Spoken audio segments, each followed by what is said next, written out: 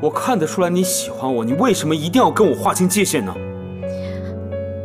光是喜欢是不够的，在感情里，我不是那种会越挫越勇的人。如果失败了，我只会否定自己，怀疑自己。那要是因此错过那个对的人呢？不是你说的吗？越是了解，才越知道自己想要的是什么。花时间去验证答案太累了，而且还有失败的风险，所以，我选择另外一种生活方式。毕竟，生活里也不是只有爱情。是，生活的确不只有爱情，但生活里让人自我怀疑的，也不是只有爱情。之前怎么没觉得你这么能言善辩呢？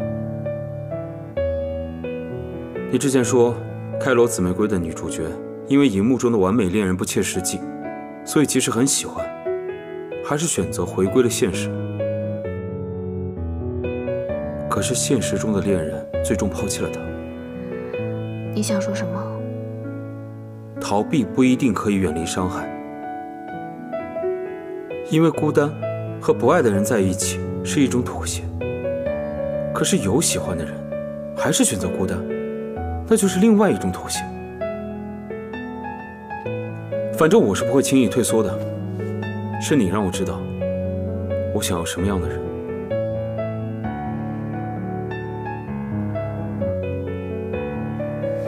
原药还没好，就去医院。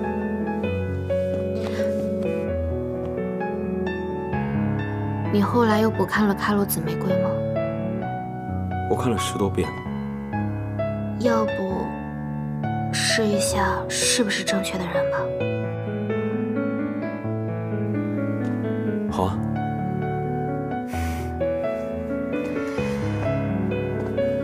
不哭了。